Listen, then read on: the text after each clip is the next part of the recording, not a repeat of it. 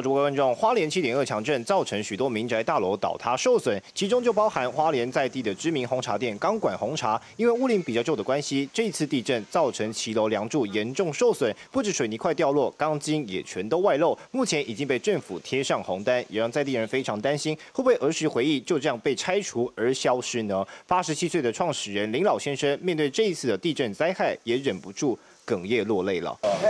经过建设局的鉴定啦，有啊，搁写管建筑建设课啦，吼，安尼才会使动工，无你若动工了吼，伊不爱甲你承认安尼啦。哦。嘿，啊，结果伊来，因来佮咧讲讲上讲诶，我本人安尼讲，讲我白讲，你较紧甲我做，较紧做，较紧加强安尼。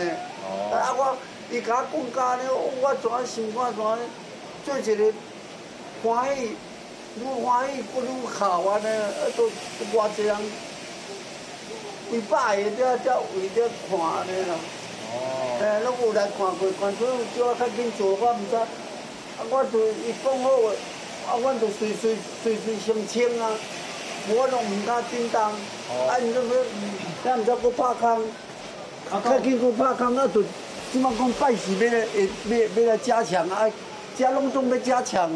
我们听到字里行间都是林老板对于钢管红茶的不舍，而我们稍早呢也请教了来勘验的结构技师，会不会强制拆除？技师表示，目前还可以透过补强来争取时间进行下一步的评估，但以目前现况来看，最好的状况依然是拆除重建，只是这也必须要骑楼所有的屋主同意之后才能动工。那么短时间内呢，还是以补强的方式进行，避免余震不断来造成更大伤害。以上最新主播。